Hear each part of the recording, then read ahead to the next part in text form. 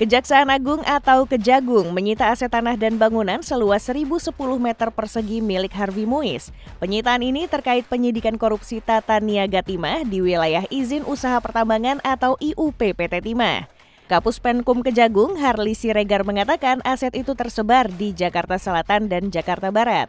Perinciannya, tiga aset bidang tanah dan atau bangunan di wilayah Kebayoran Baru, Jakarta Selatan. Aset-aset itu diatasnamakan pihak yang terafiliasi dengan Harvey Muiz.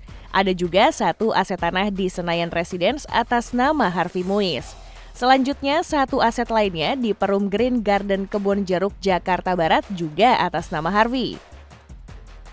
Serangkaian tindakan penyitaan tersebut terkait dengan dugaan tindak pidana korupsi dan TPPU dalam tata niaga komoditas timah di wilayah IUP PT Timah Tbk periode 2015 sampai 2022. Kapus Penkum Kejagung Harli Siregar.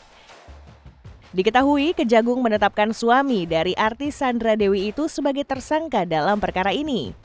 Direktur Penyidikan Jampit Suskun tadi mengatakan pihaknya telah menemukan dua alat bukti yang cukup, Tim penyidik tindak pidana khusus dalam perkara tindak pidana tata niaga timah di wilayah IUP PT Timah telah memeriksa enam orang saksi.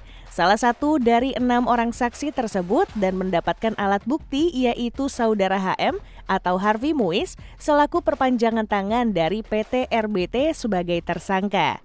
Ujarnya, Selain itu, Kejagung juga menetapkan Harvey Muiz sebagai tersangka pencucian uang pada awal April 2024.